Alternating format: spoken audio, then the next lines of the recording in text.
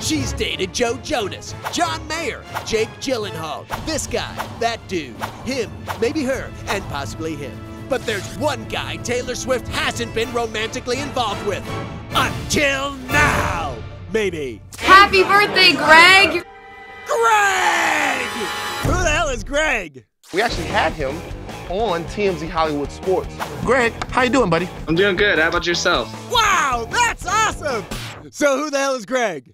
Greg Bretz is a professional Olympic snowboarder. And he's on a snowmobile because... He he was on the mountain doing snowmobile tricks. He made an Instagram video of it. Underneath the Instagram video, he put Taylor Swift's blank space. So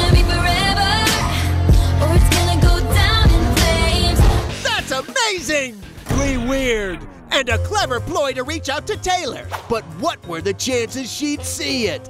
100% because he came on TMZ Hollywood Sports! I think I'm gonna dedicate the whole entire center of my snowboard to her. And guess what happened? She hit him back.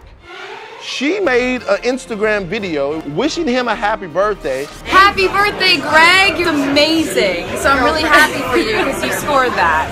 Uh-oh, looks like we got a flirt alert! Which is the least dangerous alert ever. But he might have a hookup with Taylor Swift. This could be a brand new celebrity couple. So congratulations, TMZ Hollywood Sports! which uh, has a new time now. It's at uh, 6 o'clock Eastern and 3 o'clock Pacific, beginning Right. today on Reels. You have no shame, do you?